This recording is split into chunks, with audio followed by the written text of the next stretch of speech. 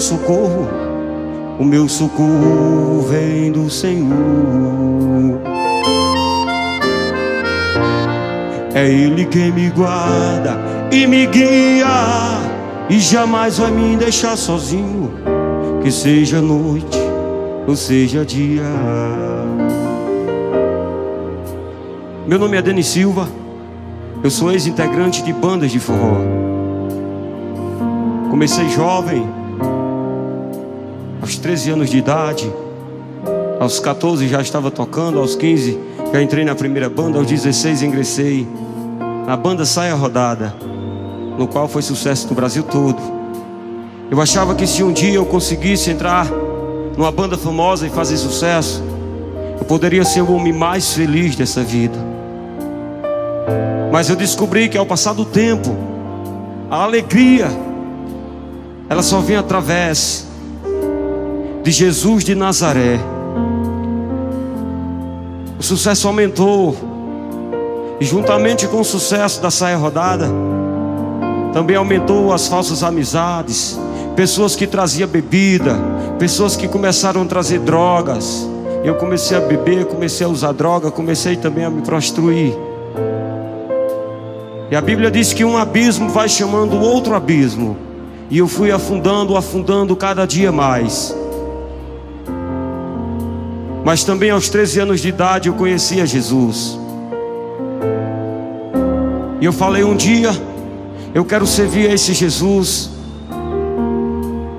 Eu quero viver para Ele. Mas o meu sonho era de tocar numa banda grande, era de ser famoso.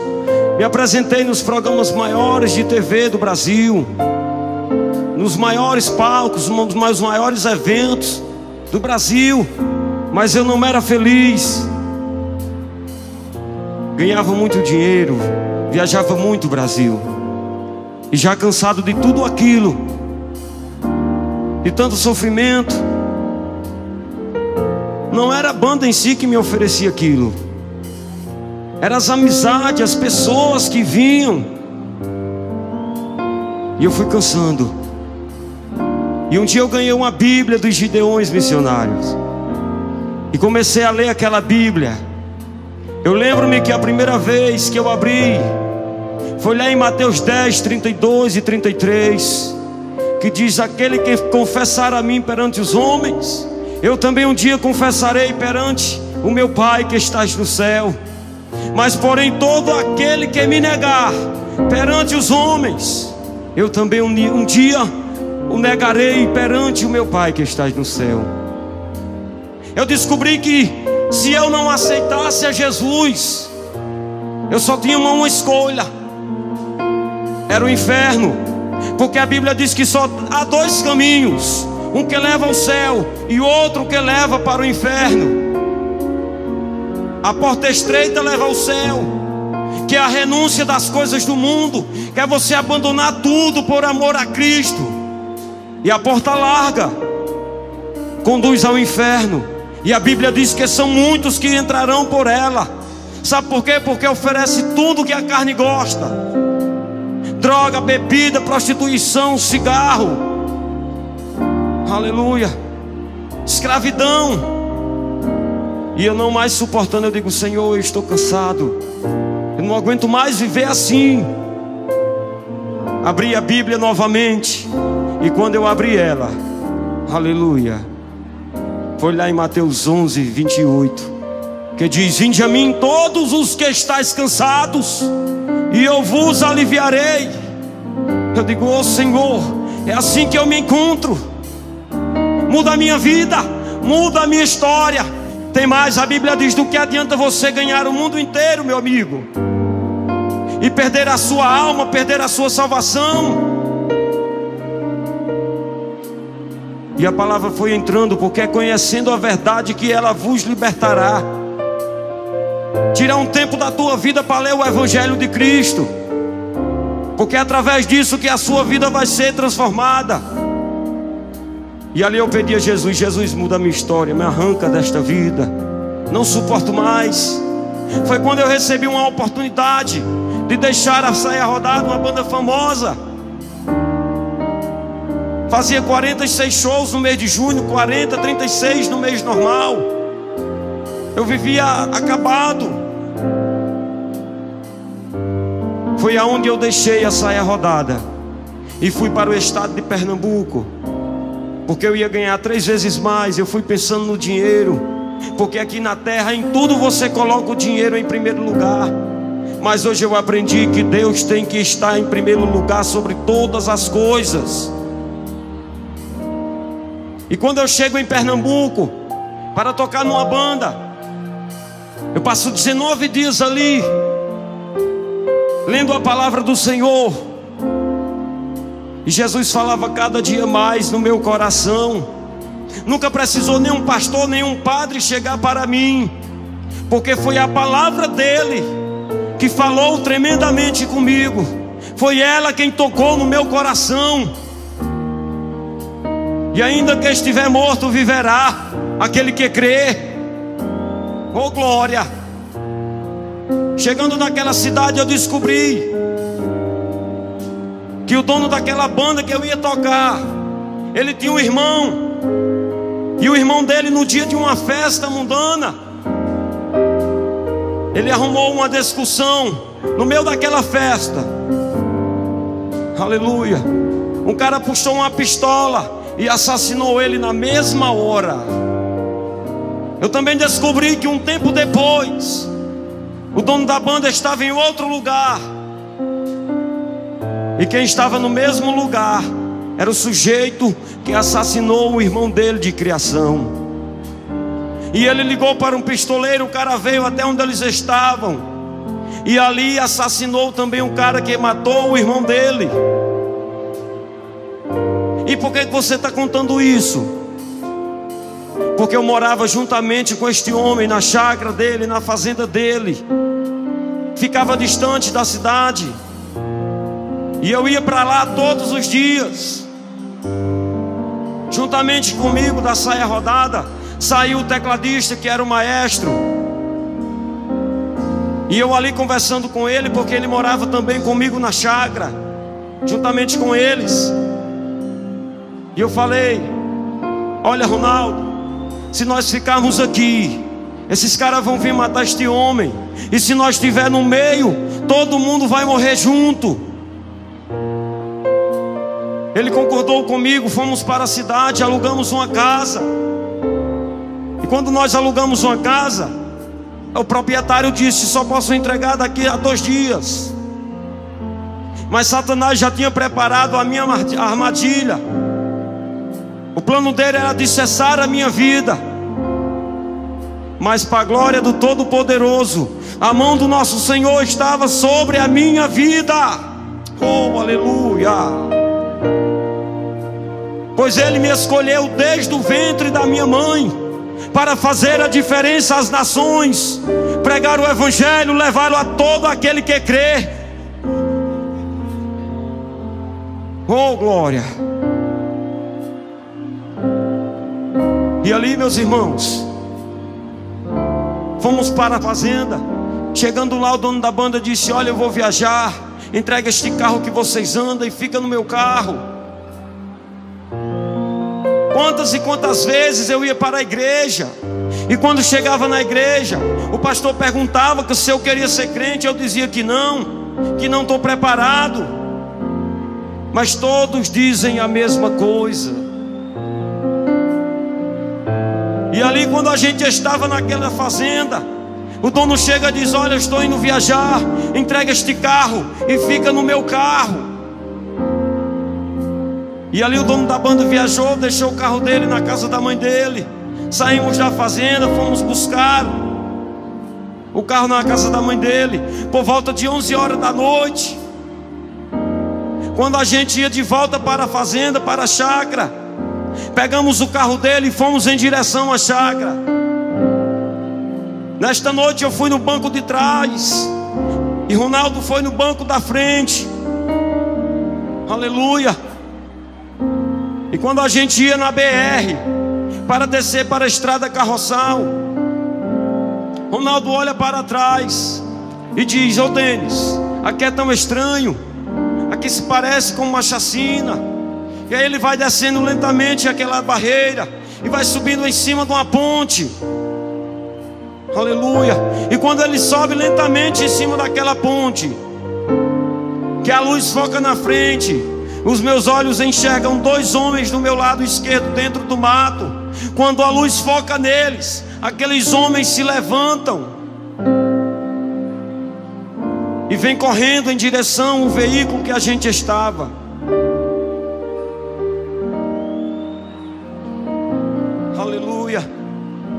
E quando aqueles homens vêm chegando em direção ao carro, eles começam a alvejar aquele carro com vários disparos.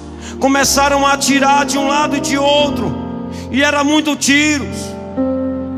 O dia era 6 de 6 de 2006, meia, meia, meia. O dia escolhido por Satanás para acabar com a minha vida. Aleluia. E eles começaram a atirar. E naquele instante eu começo a sentir um líquido quente e grosso correndo sobre os meus pés era o sangue de Ronaldo que estava correndo sobre os meus pés. Oh, aleluia. Eu comecei a sentir ele tremendo todo, ele sendo alvejado por vários tiros. Era noite de lua cheia, quando eu sinto a, a presença, aleluia, eu sinto aquela sombra vindo sobre mim. Era a sombra daquele homem que veio para me matar também. Aleluia.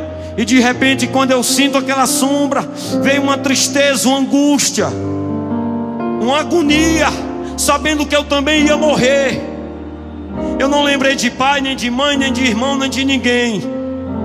Mas eu lembrei de um. Eu lembrei de Jesus de Nazaré, que Ele poderia guardar a minha vida, que Ele poderia mudar a minha história, porque só tem Ele poder para mudar. A palavra diz, lá em Lucas 1, versículo 37, que nada é impossível para Deus. Oh, glória! E Ronaldo tremia todo quando aquele homem chega sobre mim, a sombra dele. Que eu clamo por Jesus, eu digo: Jesus, se o Senhor tiver um propósito para a minha vida, eu vou te servir enquanto eu viver. Aleluia. Tem pessoas que não sabem o que eu passei, tem pessoas que me criticam porque eu deixei o sucesso, a saia rodada, a banda. Olha, sucesso não leva para o céu, riqueza não leva para o céu, mas Jesus leva para o céu. E eu não quero ir para o inferno, eu quero ir morar nas mansões celestiais. Oh, glória! É isto que eu quero. Não interessa riqueza, não interessa dinheiro, castelos. A Bíblia diz: juntai tesouro no céu. Ela também diz: Buscai primeiro ao reino dos céus e a sua justiça, e as demais coisas vos serão acrescentadas. Se eu tiver de ter alguma coisa, Deus vai me dar, mas não é carros importados, não é mansões que vai me levar para o céu. E naquele instante, tanta angústia, quando eu clamei por Jesus, eu senti uma força sobrenatural algo eu nunca tinha sentido na minha vida. Eu senti como se um edredom, cobertor me cobrisse. Uma presença tremenda me envolvia. Eu sentia a minha carne descolando dos ossos. Eu sentia, eu me arrepiava todo e eu chorava. Não era com medo, porque não dava tempo de ter medo, mas é porque a presença do Todo-Poderoso estava envolvendo aquele lugar naquele instante. Se você crê, glória a Deus. Se você não crê, é problema seu. Mas naqueles instantes que aqueles homens atiravam, eu sentia como se tiros, como se balas aleluia, como se aqueles disparos batessem no meu corpo e eles voltavam. E você é quem? É o super-homem. Eu não sou um super-homem, aleluia, mas eu tenho um super-homem por mim, e ele é Jesus de Nazaré, porque que eu conheço, aleluia, ele morreu e ressuscitou, e ainda vive e reina. Remédio que mandarás. Oh, aleluia! Como é bom sentir a presença do Senhor.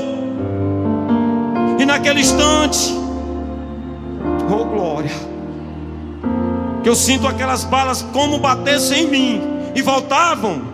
O fogo cessa, aquele homem volta para frente e continua atirando. E pegue tiro e pegue tiro.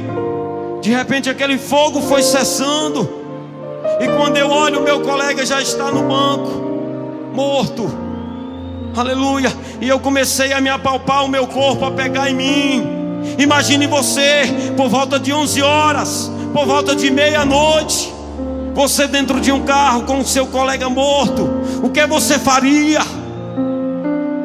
E naquele instante eu pensei, meu Deus, e agora o que eu vou fazer? Pela primeira vez eu ouvi a voz do Espírito Santo falar comigo. Ele disse: Abra a porta deste carro, saia com as mãos para o alto e diga que você não tem nada a ver com isso. Oh, glória a Jesus. Oh, aleluia. Naquele instante, irmãos, 41 tiros tinham atingido aquele veículo, 17 disparos atingiram meu colega.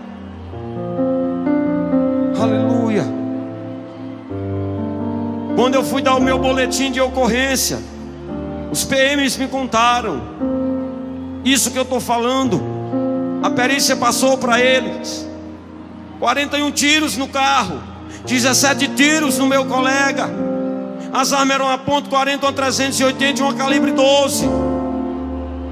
Mas eu clamei a Jesus. E quando você clama a Jesus, alguma coisa acontece. Apenas um tiro atingiu a minha perna direita. Eu abri a porta do carro, saí puxando a perna. Aleluia. E gritando: Não tenho nada a ver com isso, não tenho nada a ver com isso. E vou andando. Pela segunda vez eu escuto uma voz que diz: Ei, se esconde dentro do mato, porque vão voltar e dessa vez eles te matam. Quando de repente eu escuto a primeira quebrada de novo e diz: Continua nesta direção, porque eu sou contigo. E eu continuei, continuei. De repente eu escuto um barulho, uma luz de um carro se aproximando. E quando se aproxima, eu vejo que era a polícia. Naquele instante passou um homem naquele lugar, um anjo do Senhor, enviado de Deus e foi dar parte na polícia. A polícia chegou, me colocou dentro do carro, me levou onde estava Ronaldo, deixou dois PMs e me levaram para o hospital. Do hospital, antes na cidade de Pombos, eu fui para Recife. De Recife, eu passei em torno de sete dias. Foi quando eu voltei para a minha cidade natal, a cidade de Olho d'Água dos Borges. Foi quando eu cheguei naquela cidade e deu o desejo de fazer um culto de ação de graça pela minha vida, pelo livramento que Jesus me deu. E foi ali, aleluia, onde pela primeira vez eu adorei a Jesus. Ele me deu livramento de morte. Sabe por quê? Porque Ele me escolheu. Eu digo para você nessa noite: tu também és escolhido de Deus. Não desista, lute pelos teus sonhos, lute pelos teus projetos, porque a tua vitória está garantida no nome de Jesus. Mas eu ainda passei 11 meses se escondendo de Jesus. Passei 11 meses ainda me escondendo de Jesus. Mas no dia 17 de maio de 2007, eu me rendi a Jesus. Eu entreguei a minha vida para Ele. E Ele tem mudado a minha história. Hoje eu sou feliz. Hoje eu sou alegre. Porque Jesus chegou e mudou a minha vida. Eu digo para você nessa noite: reveja os teus conceitos reveja o teu pensamento, porque só tem como chegar ao céu se você confessar a Jesus, oh aleluia, como teu Salvador.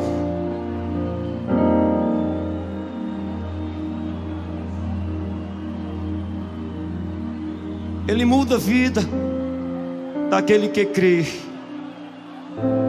e confia nele. E quando eu pensei que não tinha jeito, ele estendeu a mão sobre a minha vida e mudou a minha história. Eu não sei o que você está passando, você em casa que me assiste, você no seu carro que me ouve. Aleluia. Eu quero dizer que não importa a circunstância, não importa o que você está passando. Eu quero dizer que se você crer, você vai ver a glória de Deus na sua vida. Clame por Jesus e Ele mudará a tua história, assim como mudou a minha. Oh glória! Oh glória! Vamos adorar o Senhor. Oh glória!